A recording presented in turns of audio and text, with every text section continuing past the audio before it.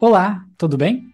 Aqui é o Luiz e nesse vídeo eu quero lhe falar um pouco sobre mim, já que no vídeo passado eu falei um pouco sobre o curso. Caso não te interesse saber nada sobre o professor, pode pular sem problema nenhum, você não vai perder nenhum conteúdo do curso nesse vídeo aqui.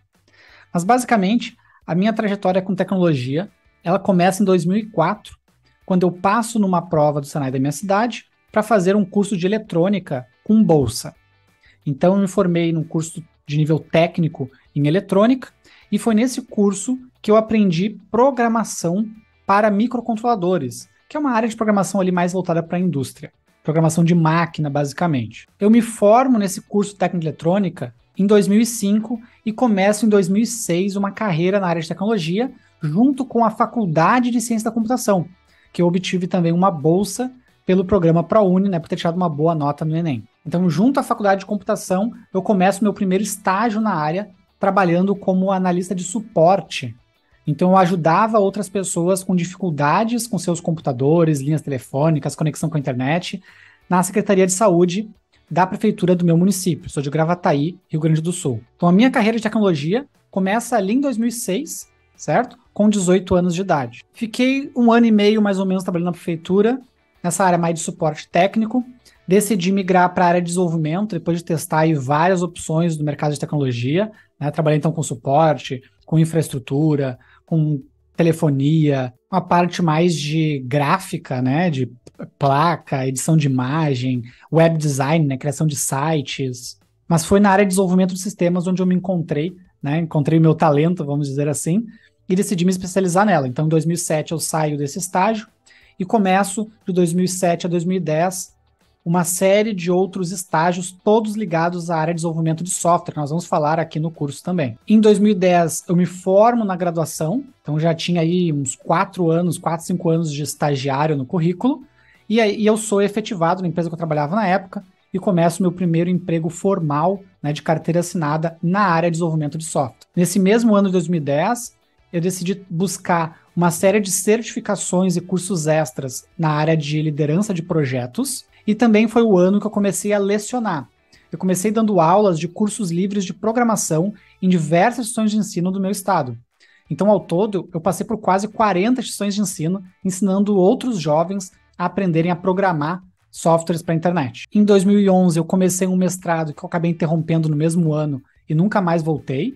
Né? Eu tive que tomar aquela dura decisão entre a carreira acadêmica e, a, e o mercado, né? porque os dois concorre muito com o seu tempo, acabei optando pelo mercado porque eu já tinha uma, uma carreira em franca ascensão acontecendo, não quis apostar no mundo acadêmico, apesar de amar lecionar, tanto que eu continuei nos próximos anos trabalhando em forte essa veia de professor.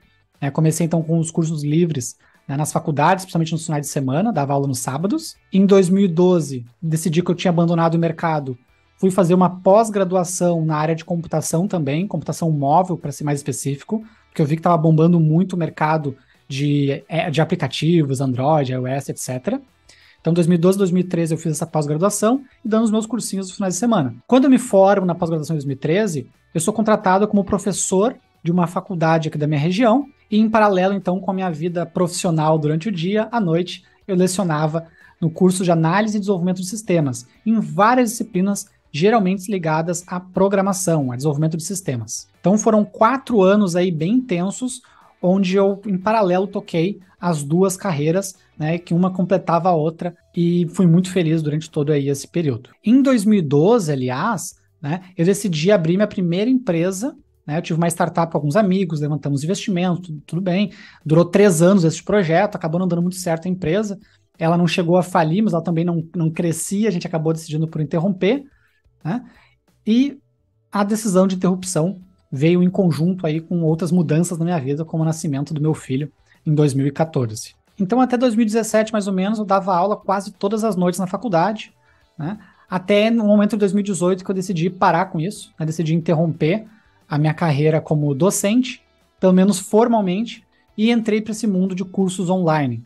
Então, eu já dava aula há muitos anos em graduação, em curso técnico, em curso livre. Em 2018, eu resolvi começar a lançar cursos online através do meu blog, através do meu canal no YouTube, né, minhas redes sociais. Né, pessoas que já acompanhavam o meu trabalho, que já aprendiam comigo de alguma forma, porque eu sempre compartilhei. Né? Em 2010 foi quando eu montei o meu blog, Luiz Tools. Talvez você tenha me achado por lá. Né? A data que eu gravo esse vídeo já são mais de 450 artigos escritos lá. Então eu sempre produzi bastante conteúdo para internet. Tem o canal Luiz Tools no YouTube também.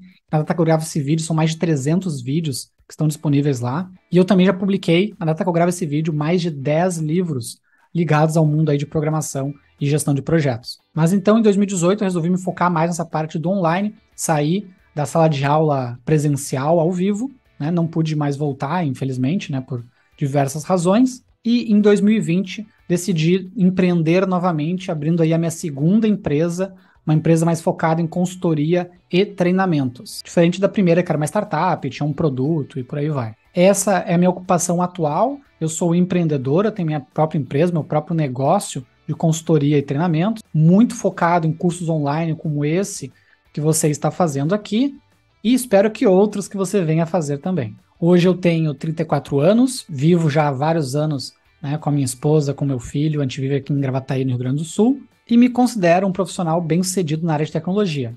Se é o que você busca também para você, tenho certeza né, que eu posso lhe ajudar, seja com os meus artigos, com os meus livros, com os meus vídeos ou com os meus cursos. Ou mesmo tirando aquela sua dúvida que está te incomodando aí, que você pode estar tá mandando no meu e-mail ou nas minhas redes sociais, que eu vou colocar os links aqui embaixo. Fico muito feliz de você estar fazendo esse curso.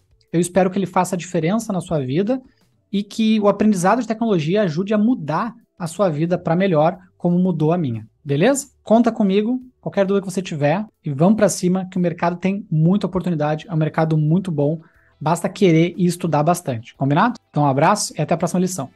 Valeu!